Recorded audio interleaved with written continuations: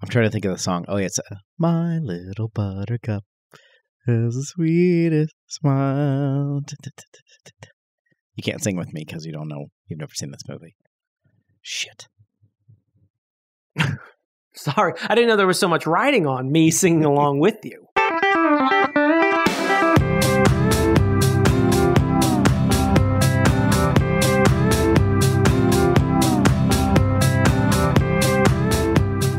Welcome to Your Inner Childhood Movie, the podcast where we look back on things from our childhood and see if they're any good. Beginning with, my name is DJ And my name is Damon. I don't know We why I forgot how to do that.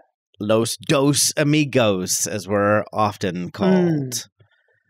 Today we're talking about Three Amigos, which Mm, twist. I just realized is funny because they say three, but then they say amigos. you have somehow never seen this movie, and that I find that shocking. I think once, for some reason, this is a plot I have seen. I feel like it was parodied on multiple cartoons I watched as a kid. Mm, I feel like Tiny Toons had a Three Amigos style episode, or maybe Animaniacs as well. I do know generally the plot. It's basically Galaxy Quest in the West rather than space. Yes, yes, it's almost exactly that. Didn't we watch something else that was in this vein? I feel like I've made this comparison saying this movie is like Galaxy Quest or Three Amigos, and now I can't remember what it was. Yeah, I don't remember. I'm glad I brought it up then.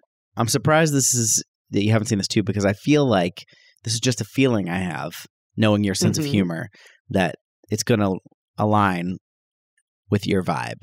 You've got the Martin Short of it all, the Steve Martin of it all, less so the Chevy Chase of it all, but he's there. Thank you, thank you. Of, of the three, I would rather be paired with the first two than the the terrible person of the three. I just mean Uh, humor, you know. You know, when I was a kid, I did not care for Martin Short. I don't know what it was about him, but I did not care for him. Same. And as I've gotten older, I appreciate him more and find myself in a YouTube vortex watching Jiminy Glick compilations. Yeah, I And, uh, really enjoying hated Jim and the hell Glick out of when it. it when it was a thing. Oh, yeah. first- like, and that's not even that's like a young adult or late teen when that came out. Because like the late Yeah. '90s or something when he was doing that. And I was like, I don't get this. And now when I watch it, I'm like, this is hilarious. but you know, I guess all the like fat phobia stuff is not that funny. But like the way he interviews and basically just slams in, uh, it's very Zach Galifianakis between two ferns vibe, where he's just like basically making fun of the celebrity Yeah, to their face. That is a good comparison. I, I like that vibe a lot. And I also just like the idea of a person who has the cachet of an expert who knows nothing. He Yeah. never seems to know the movies they've done. He's not watched the projects they're on. He forgets their names often. It's just a good joke, except for the fat phobia stuff, which is, I would say, a fifth of the jokes are fat phobic Yeah. jokes. Which sounds like a lot now that I've said it, but I feel like the the vast majority are about him being incompetent and uh, a moron and making fun of the celebrities to their face.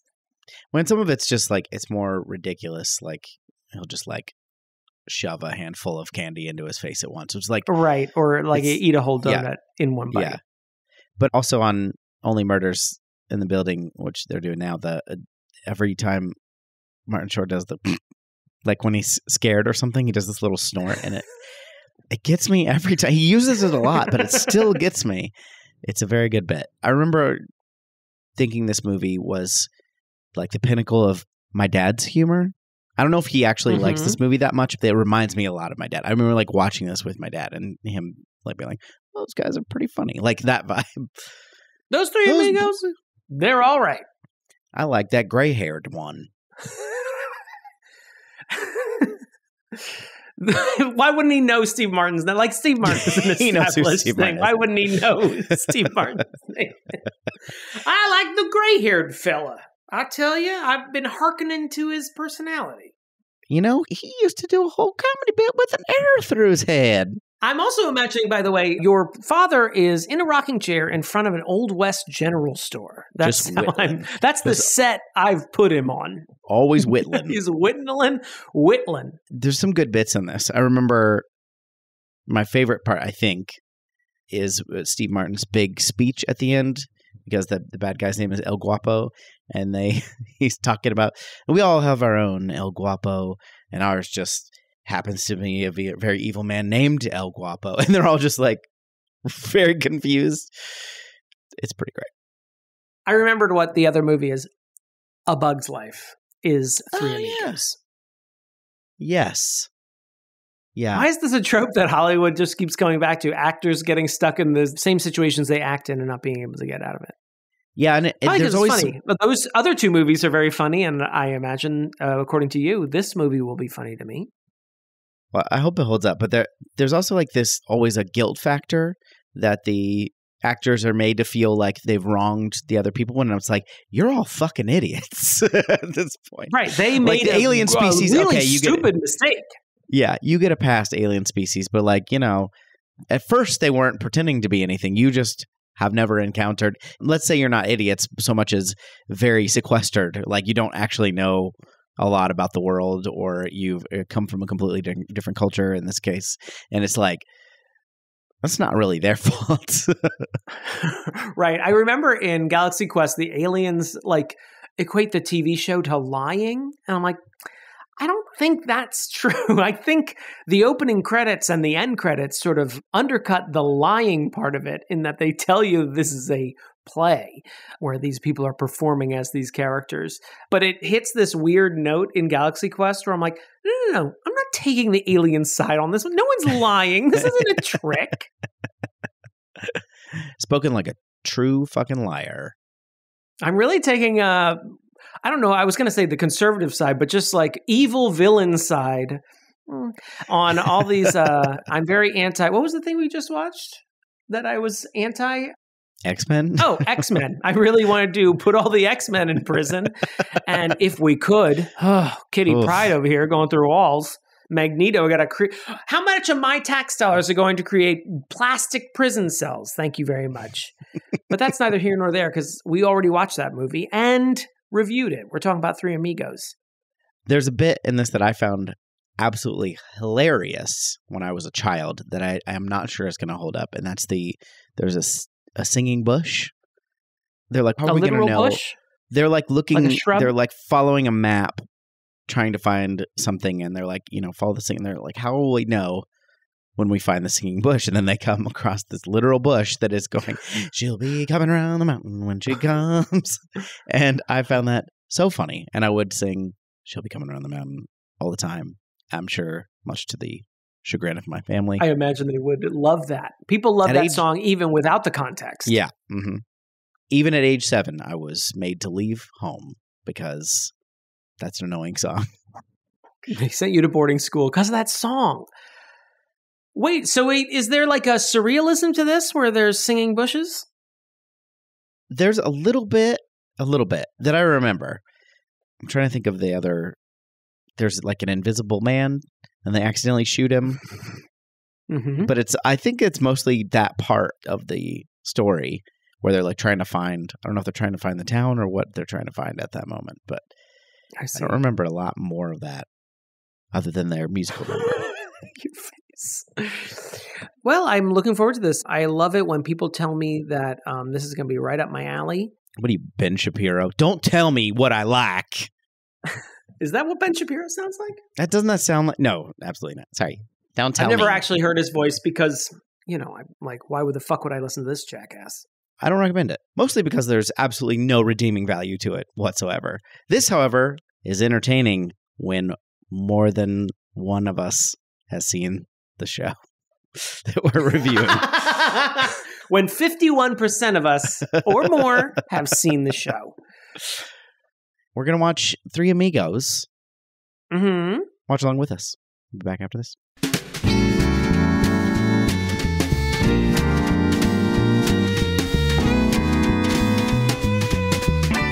Hey, Jamin, you know how in the early film industry, the stars, the actors of the day, they would have multi-picture deals. They would like have a deal with a studio.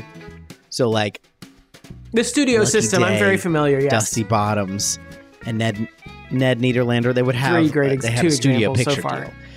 And then the third. Podcasters don't have that. Right. They don't have that. Yeah. Oh, interesting. Wait, who did I sign with? He said his name was Jack Warner. Hey, it's John Podcast. I was wearing knickerbockers at the time. Was that not? Was this The not a name's normal Jimmy? Appleseed. I own Apple Music. oh yeah, it makes sense that they would name it so after you. we don't have that kind of studio support. We don't have the funding behind us. So we, what we need hmm is our Yeah. listeners to help us. There's so many costs associated with this.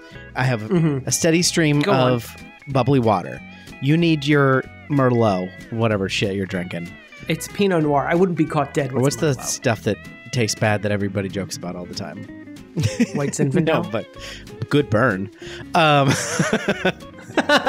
Take that, White Zin. You these fucking microphones. poser. Damon's going through microphones once a month. He keeps eating them. It's a problem. Well, half of them turn out to be cake. I've been involved in a Netflix. Mikey uh, Day. Damn you, Mikey Day. None of them are gay.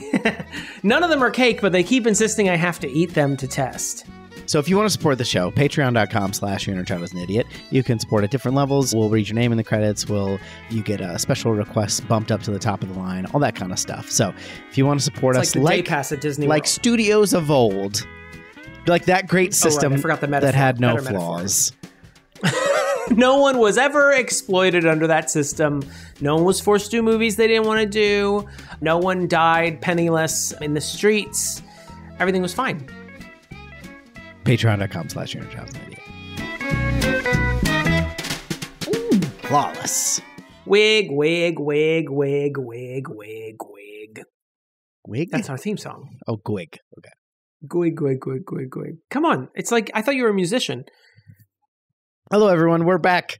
We watched Three Amigos, 1986's Three Amigos. I think I got this recap. Oh, interesting. You've all seen Ga- Galaxy Quest. No, it's that, but in the West. no, okay. So there's three stars. I mentioned it in the ad. We've got Lucky Day, Dusty Bottoms, and Ned Niederlander. They're stars of silent films, Three Amigos, but they get fired from their studio deal. But Hmm. just after that happens, they get a telegram. A person from a small village in Mexico who thinks they're actually real heroes sends word to get the Three Amigos. The Three Amigos, thinking it's an acting gig, come down to face El Guapo, the bad man who's terrorize, terrorizing their town. Turns out it's real, which they discover once Lucky Day is shot in the shoulder. Uh, and then they run away. But then, finding their spirit, finding their gumption, they decide, despite the fact that we can't actually do any of these things, we're going to pretend harder and we're going to rally the town and we're going to defeat El Guapo. And they do. yeah. And they kill his second in command. And El Guapo and uh, Yeah. I was like, don't focus on that. They also killed El Guapo. I don't know why I forgot about the main villain time. And uh, they save the day, and they refuse the money, just as uh, Ah. they did in the in the pictures. Truly. And they ride off into the sunset, literally. Yeah, And- I mean, uh, you did a great job. I don't know you. why I can't follow your templates of recaps. I'm just really bad at them. No one wants to hear us recap the movie. Oh, you do? Okay. Have people said that? No, no one's. No we'll one's drop it as asked. soon as you tell us we can. We've often dropped it just forgetting that we're supposed to recap these movies. More people involved. Like the three titular amigos are Mhm. obvious draws, but I forgot about some of the other people involved. There- There's a brief cameo. This is directed by John Landis, for one thing. Brief Jon Lovitz and Phil Hartman cameo. Joe I- I, appreciated that. Yes. Yeah. Joe Mantegna plays the studio exec that fires them and playing exactly his gangster character in The Simpsons, that same exact voice. Yes. Uh huh. What I didn't realize, I don't think I ever realized this, is that not only did Randy Newman write the songs in this, he also got co-writing credit on the movie along with Lorne Michaels and Steve Martin. They like wrote the movie together. If an author had been with me while I was watching the film, he would have said, Damon exclaimed, Randy Newman question mark exclamation point during the credits. I don't usually exclaim during credits, but in this case I did because of Randy Newman's inexplicable presence in the credits. Lorne Yeah. Michaels, Steve Martin, and Randy Newman, singer-songwriter Randy Newman.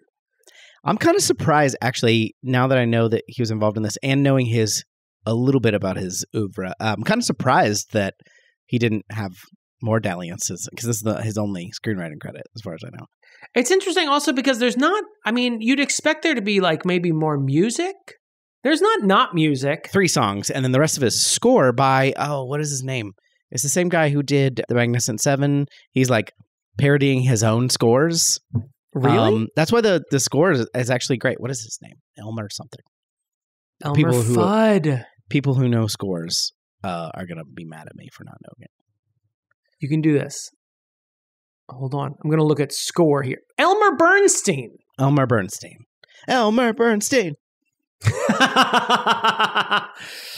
he didn't approve that, so REM had to check it, change it to uh, Leonard Bernstein. That's pretty amazing. I didn't even catch that. Yeah, isn't that cool? It really is. I want to say one thing because you mentioned them already. Phil Hartman and Jon Lovitz, I appreciated their presence in this, not because I do love them both, but they both have I find myself very attracted in a non sexual platonic way to comedians that have what I call Norm Macdonald syndrome, which means it sounds like you are a 1940s radio announcer trapped in a modern person's body. Phil Hartman has that very, very announcer voice. Like when he was on SNL, they would give Don Pardo a break and just let him announce almost every skit that needed an announcer Yeah. in it. Jon Lovitz also has that sort of quick talking way of talking don't say quick talking way of talking. That's a, that's redundant. You're not getting anywhere with that. But he, you know, he just has that really snappy. Damon, not gifted. I have a lot of stammering and some would say a faggotus voice that would have not have been popular in the 19 teens. He's led our boys to sodomy, and that's why we can't have him announce our pictures. I just love that in people. I think Chris Parnell has it a little bit where he just sounds like he should be announcing a trailer for a 1950s movie. Thrill at the scares. I do like Phil Hartman gets to use it the most in that scene. Jon Lovitz does barely talks, but Phil Hartman gets to say, "Get wardrobe up here right away. Take away the amigos' clothes." I did love this initial scene because it is very much ridiculous. It's set in 1916. It's like it feels 1916 like turned up a little bit. Everyone's wearing ridiculous clothes, but not incorrect clothes. I love when the wardrobe women came up and they were all wearing these sort of lavender smocks that you've Mhm. seen like if you've ever watched a documentary about early film production, you've seen this before and they all come up, they all look almost identical and just start ripping the clothes off uh, the three amigos to spite them as Joe Mantegna res- requested. I did appreciate it. It showed a lot of love for like that early movies. I also love the Three Amigos film we saw, silent film, where they're all sort of wearing caked on white makeup and their lips have been accentuated because that's what you had to do in the silent era, in the black They're- and white era. They're a little like they all get like a freeze frame, and those were my first laugh of the movie. I think because actually the first thing they do is sing uh, one of the f- songs, and it was pretty funny actually. I mean, even before the story starts, they just sing a Three Amigos song, Yeah. apropos of nothing, just riding along singing uh, the Three Amigos song. And it was it was holding a bad. note for 14 seconds, according to the trivia of IMDb. I didn't go back and check that, so take that with a grain of salt. that song was it was pretty good actually. You know, it was like sets the scene and I feel like is indicative of the scene. But oh yeah, when they give the freeze frames in the movie, especially Martin Short's like awkward smile, yeah, it's very yeah. Chevy Chase is the idiot, but also the flirty one. Is that correct? They're all idiots. Yes, sure. but I mean, right? They are all idiots. He is but the most Chevy idiot. Chase is the most idiot. Yes. I did appreciate he is being hit on by a woman when they are celebrating their faux victory over El Guapo in the initial part, and she says, "Would you like to kiss me?" And he's don't do accents. Uh, Would you like to kiss me? She says, and he says, "Oh yeah, sure." And then he keeps playing his guitar, and she says, "Well," he's like, "Oh, right now," and she's like, "Well, we could take a walk around town, and you can kiss me on the veranda." And he said, "Oh, on the lips will be fine." he's a moron. I find that comical that he's stupid. Just because I got to get into it, and because you just said don't do accents, let's hit the Damon's problematic corner real quick because Oh. we got oh. some stuff to talk about. Yeah, here. yeah, we probably do. Come on, come on into the corner. Ooh, watch out now, y'all. Damon's got a problem, baby. Ooh, watch out now, y'all. Let him know about it. Okay, so you're probably not surprised to learn that there are some issues with the you know three white characters coming into a small Mexican village, and the white saviors. And I think this movie does get away with a lot because they're idiots. So you can kind of be like, they're mostly. I mean, they're not harmless because they actually cause harm, but they are they are kind of you can laugh at them and not be like, well, you know, it was the time or whatever. It's not just that. It's also that they're idiots. Like it's not just 1916. They're also morons. But they're right. And I think it's also, I mean, it's also making fun of movies that did this all the time. I don't think it's Yeah. actively making fun of that aspect of those movies, right. but it is sort of playing on tropes of, you know, earlier films where, you know, white people played. I'm assuming the Three Amigos are also of themselves supposed to be Mexican in their films. They're wealthy Spanish landowners, I believe, is what Ah, the okay. Joe Mantegna character says at one point. yeah, I mean, I wasn't really that torn because it just is so ludicrous. They are idiots, and I feel like it's sort of playing on these tropes. But I also didn't know how to feel about you know the portrayal of Mexicans in general in this Yeah, film. At first, I was that first scene where they're still technically, I think, they're in New Mexico in that first scene when we first meet Carmen. When we first see her, I think she's technically in New Mexico. Um, she had crossed the border, and there's actually a good mix of like just people walking around in suits and you know people who are maybe in more traditional clothes. And I was like, oh, maybe this will be a little bit more nuanced. But then we go into like Mexico, and again, it's rural, poverty-stricken Mexico in 1916. So I'm not a historian. I don't know what that would look like at the time. So I didn't know how to feel. If what I'm getting at is I don't know what to. do. Yeah. just someone tell me what I should feel, and I'll feel it. Well, and obviously, like two white guys from the present is not the best. You know, like we don't have the best reflection of it. But the idea is, And sort we had two art- white guys from the past come, and we were going to have them uh, state their views. And in our pre-interview, we were like, "Oh, you can't, you can't You're come on the show. you're much worse You're at this. Terrible. You're Well- terrible people." And technically, if you're listening to this, we are from the past. so there is that. Oh, that's wow. That, you've opened my eyes. But, uh, Podcasting is a form of time travel. the issue is, as I understand it, would be you know, you're cartoonishly portraying Mexicans is either these kind of damsels in distress, either literally or like the town, or they're these like ruffians, you know, Literal un- banditos. like raping, pillaging, uncouth, you know, like savages. You know what I mean? Like, and they're We one don't the know other. that they're raping. For all we know, they just put women in rooms and leave them there do- yeah, with they, the threat true. of rape hanging over them. capturing. time. They're certainly capturing. I don't know what pillaging actually entails, but it seems like they did some pillaging. They definitely did some property damage. Oh yeah, with Some dynamite injuries. sticks. Yeah. Thank you, Nobel Howard Nobel or whatever his name is. Howard, I assume. Yeah, I didn't know how to feel because I don't. I'm not familiar enough with the history, but I thought at least we have two ends of the spectrum of you know this nice village of people and then these bandits if it was only the bandits i'd feel a lot worse but i feel like because we have this village full of people with people whose names we get to know and whose occupations we get to know it helped a little bit to soften that blow Yeah, and I think you know if this were made probably in another time or by a, um, someone who wanted to make a point about that, there would be some interesting things to explore to like portray some of those stereotypes and some of those uh, cliches, and then play against them. And this movie Mhm. is not it's not trying to do that. It's not interested in that, and it would have been a very hard sell in 1986 for it to have done that, even if it wanted Uh-huh. to. So I'm not again. I don't think you can excuse it. Like three white guys dressing up in mariachi suits is generally a bad idea unless you're specifically making fun of it, But- which they are, but they're not. You know what I mean? They're not I really mean, I making don't. fun There of that. is part of me that I mean, I feel like that is part of the joke. Is That that, is part of the so joke, yeah. obviously out of place and wearing Yeah. ridiculous costumes. no, you're right. Yeah, Tyler came. He came in the middle of the movie, and gross. I don't know why I phrased it that way. Uh, and I said, "This isn't that kind of picture. I don't know what what set you off. If it's the the southwestern countryside, Hey, Just don't kink seeing it. shame. Whatever he's into. don't yuck his yum." Either way, he asked why they were dressed so fancy, and I was like, "I mean, they're supposed. I mean, they're they're movie stars that are dressed in their costumes. Don't come into Three Amigos halfway through." You know, don't you're like a child wandering into the middle of a movie. You can't just you can't just do whatever you want. I can't unpack all three amigos while I'm in the midst of watching said amigos. While you're doing a walkthrough on your way to the kitchen, so he cleared his stuff. He's out of here. Sorry. Uh, they also play into the sort of. There's not really any play into. They're all straight. There's not any play to that, but they are definitely portrayed as dandies.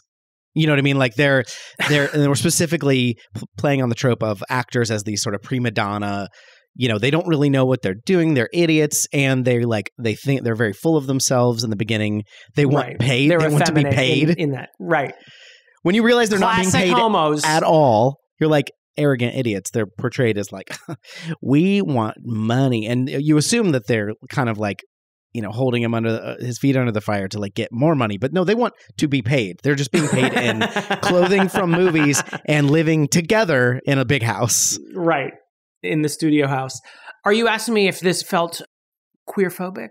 Is that what you're asking me? sure i wasn't exactly Oh. but i guess i'm I mean, they, yeah, they are around the portrayed as bush. dandies, but I felt like that was part of their idiocy more than Yeah. anything else. I don't know if I said this in the intro, but I feel like whenever Martin Short is on screen, my brain is always just like, that guy's queer though, right? I think ever since like 2004, I've been waiting for the Martin Short coming out. I've just realized, like, no, I think he just acts like that. He's just, he has, you know, he's just a gay heterosexual, is what I'm saying.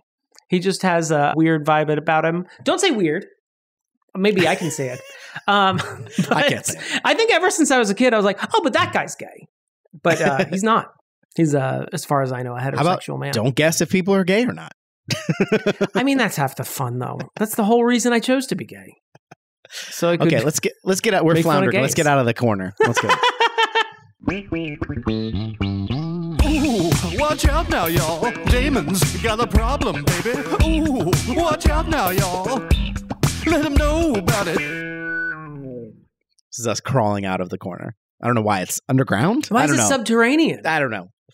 You can make a corner on the surface. You don't have to go deep down. Doesn't it seem like like a memory hole thing that Steve Martin wasn't actually on SNL? Like No, as a kid, I assumed he was because I Yeah. feel like he was on. He was on a lot of early episodes. SNL always wants to remind me he's like in the top tier of people who have hosted the most. But yeah, as a kid, I just assumed he was because you have the wild and crazy guys, you have uh, King Tut, all those like early SNL skits that were really big. Just he just happened to be hosting. He had he is not associated with the cast. He did not have a contract with the National Broadcasting Company. Look it up. He didn't. no, I believe I know that's what I I said it in the first place. I wonder like I want to know more. He seemed like obviously fine with being associated with it, and he. You know, got this movie was Lorne Michaels. He went to Lorne Michaels and was like, "Hey, I want, I got this idea for the movie," and Lorne Michaels wrote it with him, along with Mhm. Randy Newman for some reason. And it's kind of weird because it's like very associated. And I wonder if he just was doing better as a stand-up comedian. Was like, no, I don't need to do that, but I'll I'll use the you know I like this whole thing. I'll I'm not use your do the- resources and various cast members. okay, we've talked about our problematic Mexicans. Don't say problematic Mexicans. Um, Speaking of that, I want to use that quote, which is he says when they go to the bar, "Excuse us, we're not Mexicans. We're from out of town." like wearing their big black and silver mariachi costume. right. So, I will start with my criticisms of this film. Okay, I- Which we just did is- a whole. I like that first third of the film where I felt like I had a bead on what the film was going to be. But I feel like the tone starts varying wildly throughout the film. And I sort of lost track of. It felt like this movie kept going from a fish out of water comedy to like a completely deranged, just screwball, any throw anything at the wall, see what works comedy about halfway through. And then it pulled back in the last third to be like, no, no, no, no. We can't go all the way back to a fish out of water comedy, but we can't go full on singing Bush anymore. So let's just stay in this middle range. And I don't know. I feel like this specific premise, which we talked about, has been done a lot. I feel like this premise works best for me, at least, when the villains are truly genuinely threatening but the heroes are ridiculous. And I feel like in the last half, El Guapo went from threatening in the first part to just as silly as everyone else. And I can see how this movie It's a would sweater, be cherished. he says. Right. It's a sweater, a plethora of pinatas, those sorts of things. They're funny in and of themselves, but like it started to like defang the basic thrust of the movie. On top of which, the singing bush and the invisible swordsman that are smack dab in the middle are so far beyond the rest of the movie that it just seems like a deleted scene they forgot. to singing animals. Also, don't forget that. Oh right, the sing. I was fine with that actually because it felt like it played into the old time movie trope, whereas the singing bush and the invisible swordsman went into like the hero's journey of a medieval like Yeah. saga. So I felt like that part was Blazing Saddles, like Mel Brooks, like kind of Farsi Yeah. vibe. Yeah. Whereas there wasn't. Oh no, it was in of that. English. It wasn't in Farsi. Nice. Thank you. Thank you. You know, it's a good joke when person pauses. no one just said anything. you know, it's good when uh, your internet starts to slow down. Yeah, because that's generally. I don't know. To say that's not my favorite kind of comedy isn't. Sometimes it really does tickle me when things are just very stupid. But it does. Yeah, the tone was shifting a lot. Like it, it stays in like a comedy silly realm. Uh, We get some adventure towards the end. They do like you know save the day, and there is some right. you know adventure kind of. I don't thing, mind the adventure part. It was like the Yeah. silliness of all the henchmen started to wear thin, where everyone was just on this silly level. And I feel like the genuine menace that was felt at the beginning of the film was just like gone at that point. Mm, yeah, I And I mean, I don't mind the Blazing Saddles like silliness, but I mean, pick a tone and stick with it. It felt like it was just sort of varying all over the place. It had that vibe of just like guys hanging out and just shooting the shit. And I don't know. For me, it was something wasn't coalescing. I can see how this would be a Yeah. quotable movie, but it felt like I was not clicking with it all the time. Do you think it was when Martin Short busted out the Ed Grimley dance that it really just? I did notice that. I was like, I've seen this dance before. I know this trick, young man. I don't get that. I think I just don't think that's that particular thing. I think Martin Short can be funny, and I, I appreciate him more now than I did in the '80s. Hmm But I don't think that's specifically funny. It's like sometimes when Chevy Chase does his physical comedy things. Sometimes I think it's really funny, and then sometimes I'm like, this is going to go on for a minute, so I can go to. The yeah, like I the didn't. taco, um, the taco bit. He didn't know how to eat a taco, and stuff kept falling out. And he was doing his like Uh-huh. Chevy Chase thing that he does in like everything he's ever been in, and it's like the the tape in Christmas Vacation. You know, like or he like gets stuff stuck, and if you think that's funny, then I have no problem with it. Specifically, it doesn't tickle my funny bone, and so I'm just like, I know that I've got a good three minutes of this coming up. Right. because It's not that the, the jokey moments weren't funny.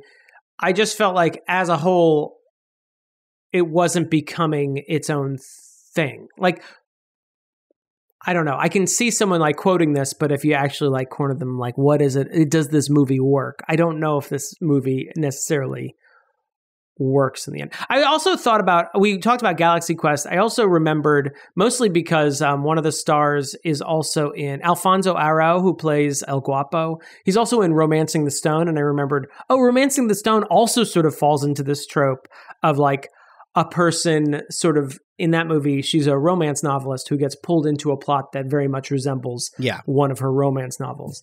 And in that movie, they sort of split the difference by having two sort of low tier enemies in Danny DeVito and I don't know the actor who plays his brother, who are very like oh, Arnold Schwarzenegger. silly but unmenacing. And then there's this Colombian like general who is almost too menacing.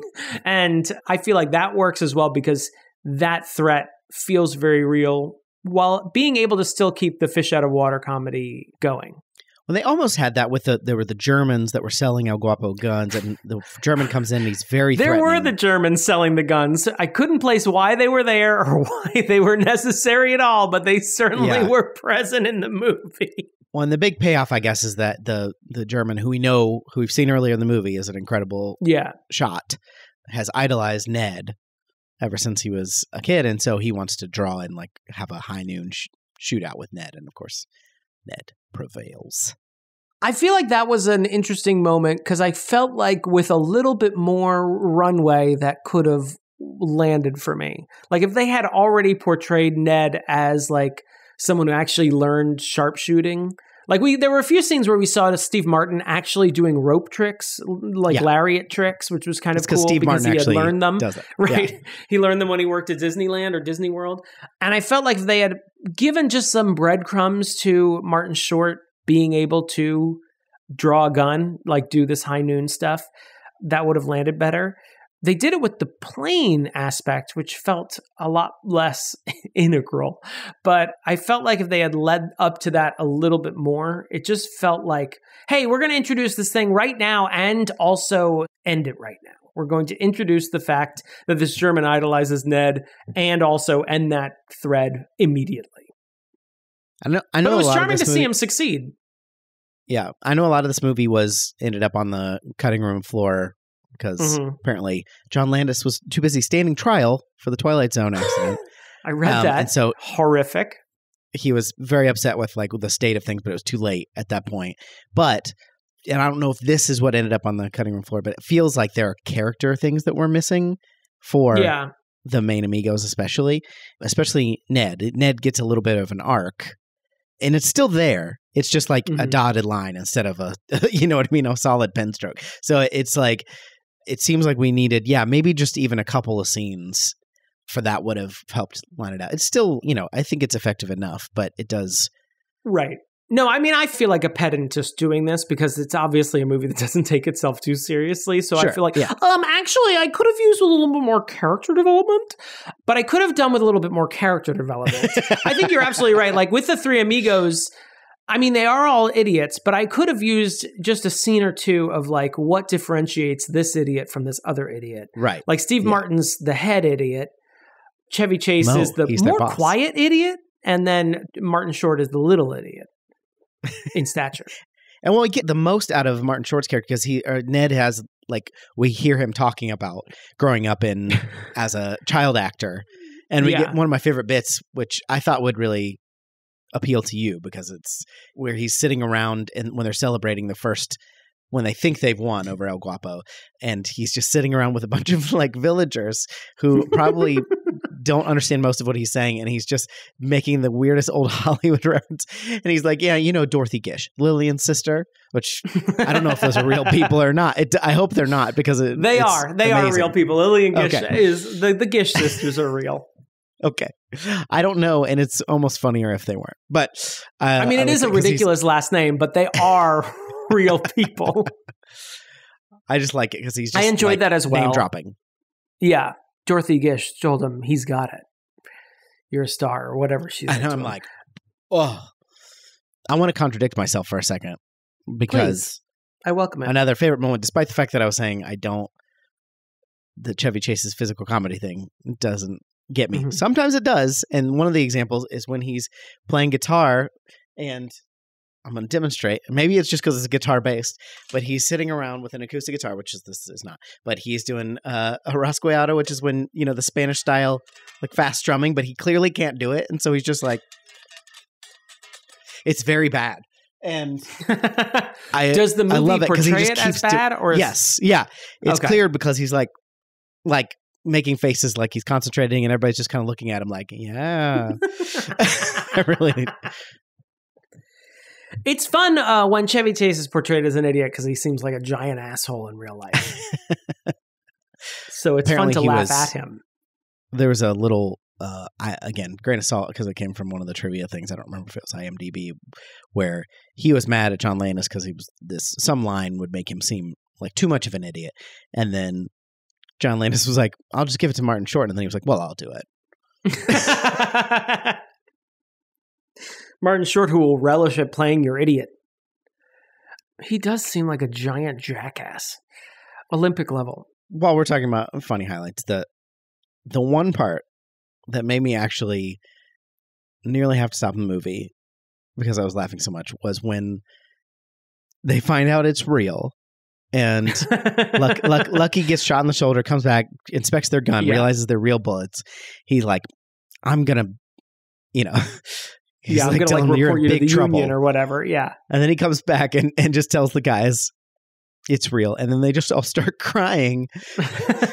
And the way they do it, they're like trying to be brave. That was good. That was a very good bit. I did laugh out loud even uh, during that that part.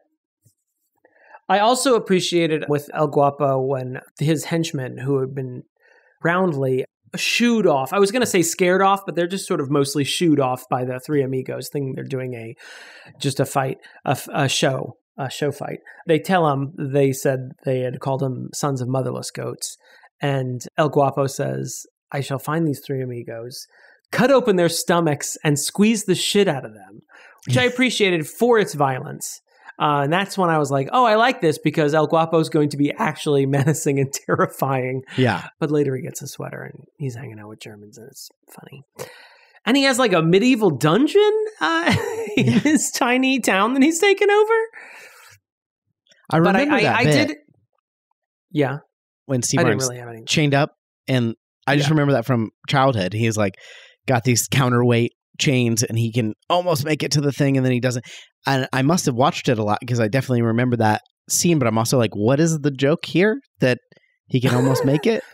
He can almost make watching- it. And I kept wondering, why did they set this up? Why is it a mind game? Why didn't they just chain him to the wall? Why would they set it up this way so that he can reach the front and loosen himself? Does seem like something they do in a western though, so maybe it's from something.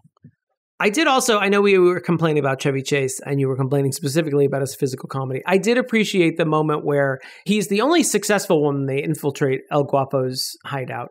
He's the only one who actually reaches his mark, which is he gets into Carmen's room to rescue her. And she's like, There's a guard outside. You'll have to, you know, knock him out in order for us to get out. And so, you know, he grabs his gun and he's going to hit the man with the butt of his gun. And he just can't bring himself to do it. He's like, he's about to hit him and he like keeps slowing down as he gets to the man's skull and then carmen does it for him but i appreciated that because if i was rescuing someone i wouldn't want to hit someone with the butt of a gun or shoot them i mean eventually they get over that and they're shooting people left right and center but i did appreciate that because I don't know what I mean. Can you just hit someone with the butt of a gun and they get knocked out? That seems dangerous. No. It also seems like the gun might go off. You know, hitting That's someone a- with it. If if you knock someone out for an extended period of time, that's a coma. That's uh yeah, that's, not pretty good. That's a concussion. I mean, if he's a terrible person, he's a terrible person, and I'm Yeah. not gonna, you know, I'm not gonna stay up nights. But still, like that's if someone's unconscious, that means their brain is swelling, and they they, you know, you got to drill a hole or something. My doctor was a doctor in the 1890s, so you got to drill a hole to let the demons out. Give I don't know, throw some leeches on him. There's uh also seen just another. I guess I'm shitting on my own premise because there's another Chevy Chase moment that is pretty funny, and that's when Just say you love Chevy Chase and all his political beliefs. Just say does it. he have does he have bad political beliefs too? I thought he was I just mean, an I don't know what his politics are, but the things he's shouted at gay people, black people, not Sure. good things. Yeah. and there's only one party who's really embraced that. Um, so there's and that's the Green Party, surprisingly enough. Jill Stein. They Cornel uh, West is actually running with Chevy Chase for president. Isn't that weird? they do a bit earlier in the movie where they sing "My Little Buttercup," which I didn't realize was also written for the song by Randy Newman. It's crazy. Um, and so in the original, in the bar, Chevy Chase is playing piano while the other two do the dance. So they do it again later in front of El Guapo to try to like be like, "Hey, we're actors. This is is that what Mm-hmm. it is?" Or are they trying to? I don't remember when it is, or maybe they're trying to distract him or something. And Chevy I think they're Chase is distract him. is just standing there. And he's still dressed up because he was trying to blend in earlier. And so he doesn't, he's got different clothes on because he doesn't have a part in this because he's usually playing the piano. He just like does this, like holds his hands up, like displaying, like showing their dance, like pointing to them, like, hey, isn't this great? And that was a pretty good bit. I also, if we're just talking bits, I will also reference the first My Little Buttercup bit, which is funny because it's preceded by this German arriving, shooting a bunch of fuckers in the bar in town and saying, you know, my friends are coming. You'll know them when you see them. And like basically scaring the hell out of all the patrons of the bar.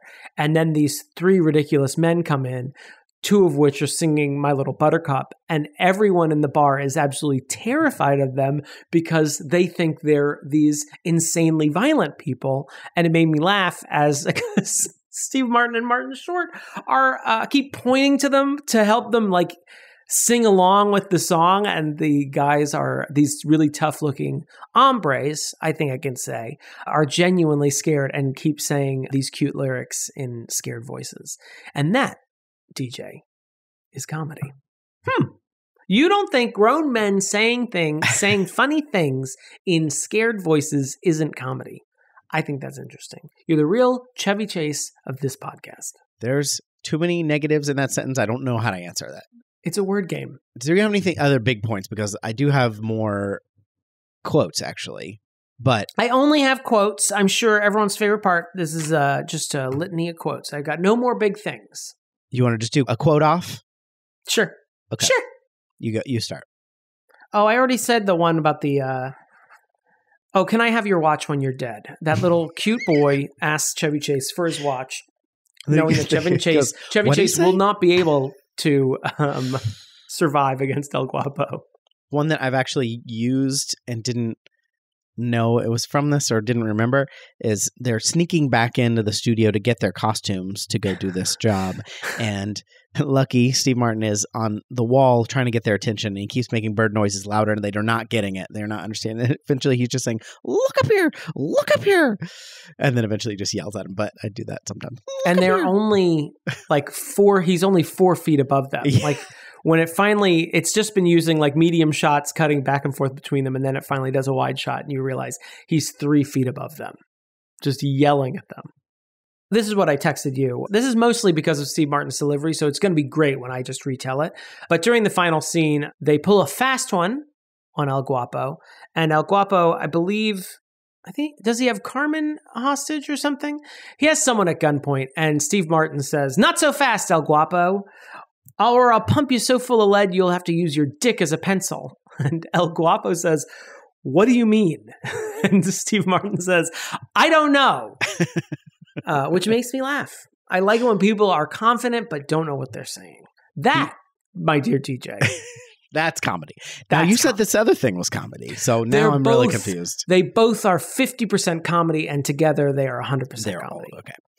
There's a bit in the when they're in the bar and I can't remember what the other person says, but Lucky is pretending like he understands, and he just goes, "Mm, yeah." What? it was another Steve Martin delivery thing that made it really good.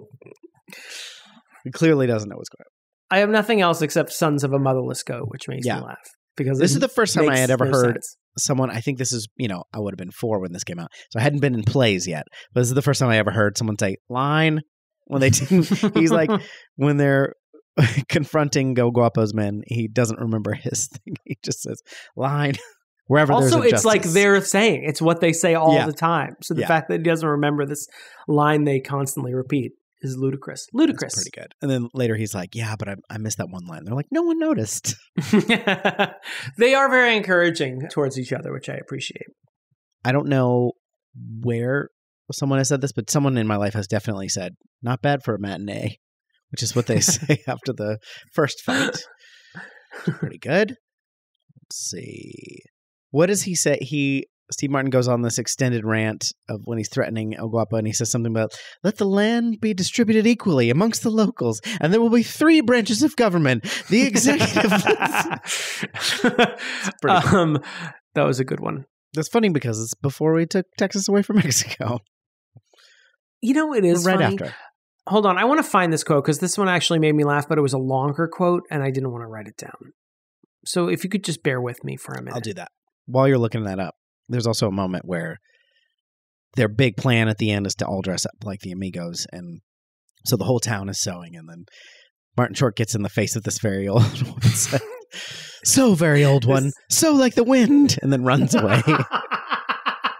I did laugh at that, and I liked it because her face does not change. He might as well not even be there. She Yeah. does not react in any way, nor does she sew any faster. yeah, which I assume is what sewing like the wind would mean. This was a speech. Again, it's one of the 50% of comedy because Okay. it's a ridiculous quote said very confidently. This is when they've finally flown back into the small town. And Lucky Day is giving an inspirational speech, and he says, In a way, all of us has an El Guapo to face. For some, shyness may be their El Guapo. For others, a lack of education may be their El Guapo. For us, El Guapo is a big, dangerous man who wants to kill us. But as sure as my name is Lucky Day, the people of Santo Poco can conquer their own personal El Guapo, who happens to be the actual El Guapo. That's a good bit. I like that also because dollars to donuts, his name is not Lucky Day. Right. Yeah. I think I think we've said enough. You want to yeah, go with the verdict? now. We can go. Go. Yeah.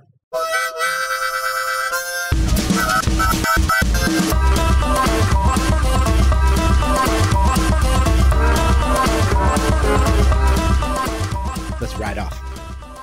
Oh yeah. We need a third, but you know what are you gonna do? We could go to a bar and be like, me and my co podcast host saw you from across the bar, and we just need you to ride into the sunset with us. He's gonna think we're swingers. I know.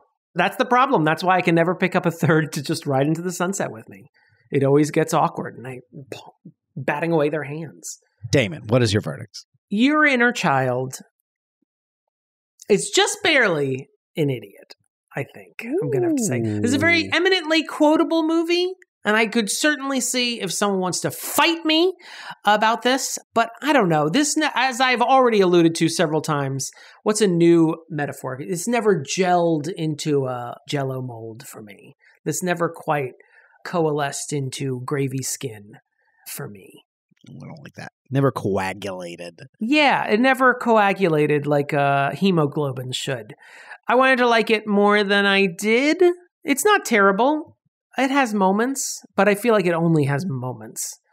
So, Child is an idiot. Damon, you ignorant son of a bitch. no, I think child is not an idiot, but I think Hmm. that if I hadn't come into this with such nostalgic feelings, I don't know if that would have pushed over the edge because it does. We talked about some of the problematic stuff, which I think just th- the fact that it's farcical and the fact that they're total idiots does soften that a bit. And now it's Soften. soften. I don't know why You pronounce pronounce the T in soften. It's It's an Thank you. Ohio thing. You wouldn't understand. let's keep talking about that though. Let's not. Uh, it does soften it a bit, and maybe that's just easy for me to say because it's not my culture they're making fun of. But it doesn't necessarily excuse it. But it doesn't be like, yeah, it's part of the joke, but it also it isn't. You know, so Mhm. I could see both sides of that. It doesn't bother me that much. What more bothers me is the points you made, and that it's the tone is kind of all over the place, and you could have used a little bit more background, which I think would have made some of those jokes land a little harder and could have let you have room to do some more character jokes as opposed to just kind of one-off stuff. Having said that, it's eminently quotable and the fact that this movie actually made me nearly cry laughing with the the crying scene, that joke alone almost pushes it over the edge just cuz it was so well done and so cuz you were like these fucking morons because it takes them like you know halfway through two thirds of the way into the movie before they figure out what's going on uh-huh. really enjoy Also, I mean, not to uh, defend them, but also Carmen. Also, it took her a long time, even longer, Yeah. one might say, to realize these men were fools. Yes. And what I, she does say i like the not so bright one. And then her sister says which one is that I did appreciate that Martin Short apparently had a secret yeah a secret love throughout this whole thing of this this hot woman we had never seen up until the end when she kisses kisses him passionately. It reminded me of a joke in a 30 Rock where there are like I think there are three separate stories and at the end of the episode Tracy references, "Oh, and then Jenna solved that thing with her dad." Oh, you weren't here. You weren't around for that. Cuz we never see it. do you have any nominees i think my single scene sally field memorial single scene award goes to the turtle obviously the tortoise oh well, no, I would want to give it to uh, Phil Hartman okay we can, and Jon we can do Lovitz that for their their wacky voices. we can give it to phil hartman What about i think Or Catherine O'Hara? yeah because we have a catherine o'hara memorial mvp award Oh man, I will say. I mean, I've already criticized El Guapo for the tone stuff, but it also feels like the actor playing him is having the most fun of anyone. But it feels wrong for me to nominate him. I don't feel like it's MVP level though. Well, well, who would you nominate? I mean, Who the fuck would you nominate? I'm trying to think of one of the three main boys. Uh, Like, I don't think it can be. You love Martin Short's Gish comments. Yeah, I'm gonna say Martin Short. Boom. He does save the day several times. What do you think, everybody? Email us, your inner child is an idiot at gmail.com. You can text us or leave us a voicemail, 615 576 0525. What? I was just thinking of not Martin Short in this, but Martin Short in Arrested Development when he says, launch me. And uh, someone launches him at Jason Bateman's testicles because it's funny. It's funny when someone, Martin Short plays old men really well. Yes. he plays young looking men because he's so young looking, but he also, in this magical way, because he's so small, can play old men really well. And he plays this Jack LaLanne type in Arrested Development. If you haven't seen it, I don't feel like I need to explain it. But he Really? has a man who carries him around because his legs no longer work.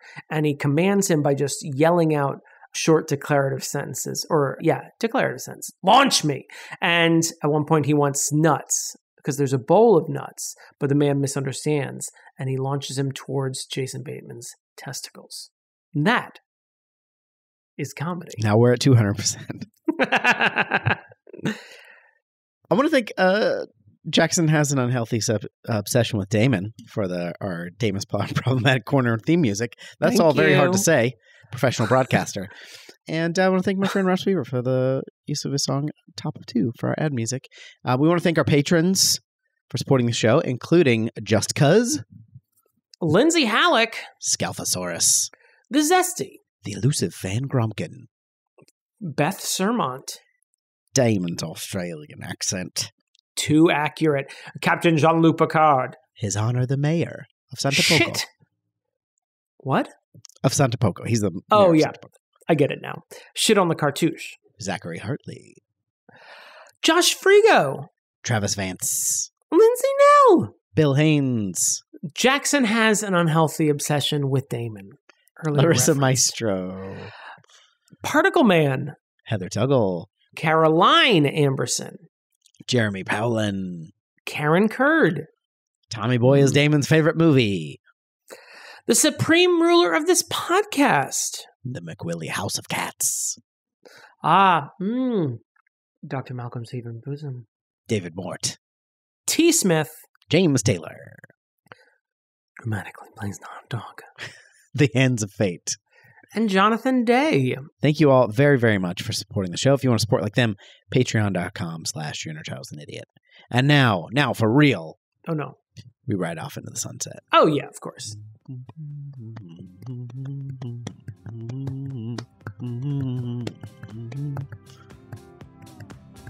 Good night, Ned. I can Ned. stop now, right? Good night, Ned. Oh.